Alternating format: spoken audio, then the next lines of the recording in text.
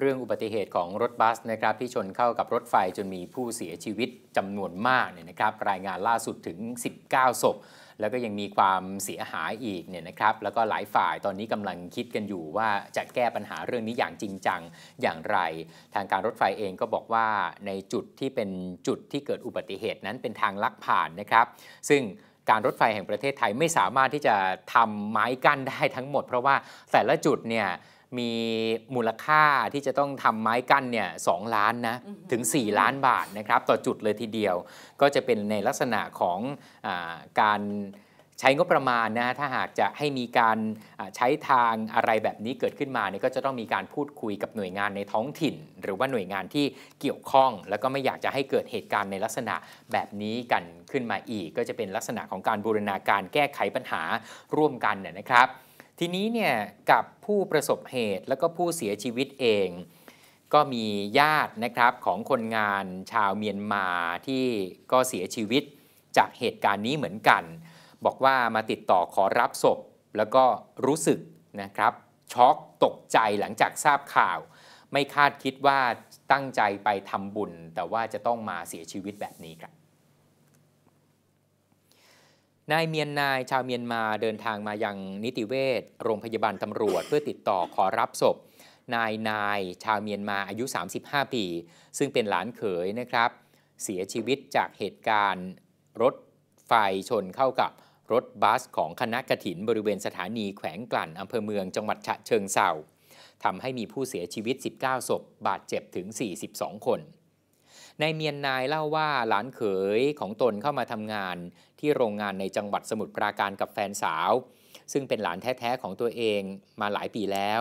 วันเกิดเหตุ ส่วนตัวก็ไม่ทราบว่าทั้งสองคนได้เดินทางไปทำบุญ แล้วประสบอุบัติเหตุ กระทั่งมีญาติโทรศัพท์มาบอก ตอนนั้นก็ยังคิดว่าหลานสาวและหลานเขย เพียงได้รับบาดเจ็บเท่านั้น แต่เมื่อมารู้ว่าหลานเขยเสียชีวิต ก็รู้สึกช็อกนะครับ ตกใจพูดอะไรไม่ออก ส่วนหลานสาวนั้นได้รับบาดเจ็บที่ศีรษะ ซึ่งตอนนี้ก็พ้นขีดอันตรายแล้ว แต่ก็เป็นห่วงเรื่องของสภาพจิตใจ เพราะเมื่อทราบข่าวว่าแฟนหนุ่มเสียชีวิต ก็ได้แต่ร้องไห้ตลอดเวลาแล้วยังไม่ยอมรับประทานอาหาร ส่วนหลังจากรับศพแล้วก็จะนำศพไปตั้งบำเพ็ญกุศลที่วัดด่านสำโรง จังหวัดสมุทรปราการตามที่โรงงาน ได้อำนวยความสะดวกไว้ให้ขณะที่เรื่องของการช่วยเหลือเยียวยา นายเมียนนายน้าเขยของผู้เสียชีวิตบอกว่ายังไม่ทราบรายละเอียดมากนัก ทราบเพียงว่าทางโรงงานและประกันภัย รถยนต์จะมีการจ่ายเงินเยียวยาประมาณ 5 0 0แสนกว่าบาทสำหรับตนเองคิดว่าพอใจในระดับหนึ่ง แต่ก็มองว่าเงินจำนวนเท่าไหร่ก็ไม่สามารถทดแทนการสูญเสียในครั้งนี้ได้ นอกจากนี้ยังฝากถึงการรถไฟแห่งประเทศไทย ให้ยกระดับด้านความปลอดภัย เพราะอุบัติเหตุในครั้งนี้ ส่วนหนึ่งมาจากการไม่มีไม้กั้นราง ซึ่งก็เคยมีบทเรียนมาแล้วหลายครั้งนะครับเรื่องนี้ว่ากันไปนี่ก็จะต้องบูรณาการกันหลายภาคส่วนนะเพราะว่าทางการรถไฟแห่งประเทศไทยเอง ท่านผู้ว่าการการรถไฟเนี่ยท่านก็ลงพื้นที่ ไปตรวจจุดเกิดเหตุทันทีนะครับ แล้วท่านก็รับทราบถึงปัญหาที่เกิดขึ้น และทางการรถไฟเองก็บอกมาว่ายอมรับจริง ๆ ว่าไม่มีงบประมาณเพียงพอที่จะไปทำไม้กั้นให้กับทุกทางร่วมทางแยก โดยเฉพาะอย่างยิ่งทางลักผ่าน ซึ่งเป็นจุดชาวบ้านเนี่ยนะครับที่การรถไฟไม่ได้อนุญาตให้ผ่านนะ แต่ว่าก็มีการขอการประสานว่าขอให้เปิดทางให้หน่อยเธออะไรอย่างนี้ ซึ่งก็มีจุดลักผ่านทั่วประเทศ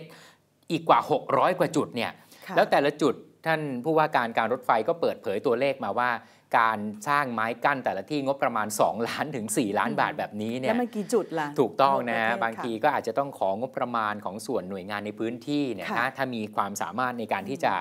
ดูแลงบประมาณในส่วนนี้ไว้ได้เนี่ยก็จะ